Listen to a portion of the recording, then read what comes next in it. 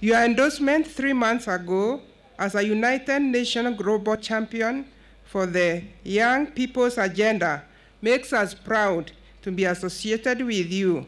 In today's event, we commit ourselves to join you in fulfilling that new role.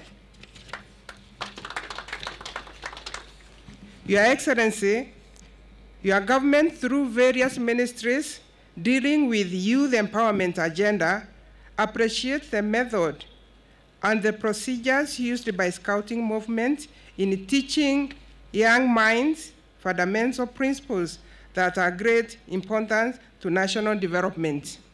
Values such as integrity, patriotism, equality, dignity, and social justice. These are the character traits needed in our youth for attainment of a just, equitable, and cohesive society as envisaged in Kenya Vision 2030. Your Excellency, sir, Scouting produces men and women of character, of integrity, and a patriot who are ready to work beyond self and creatively solve problems for the community.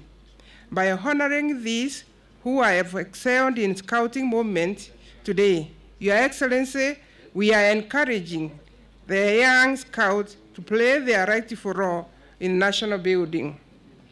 We will continue to, to support the association to expand their reach to young people in the counties as well as optimize and support the empowerment of the youth.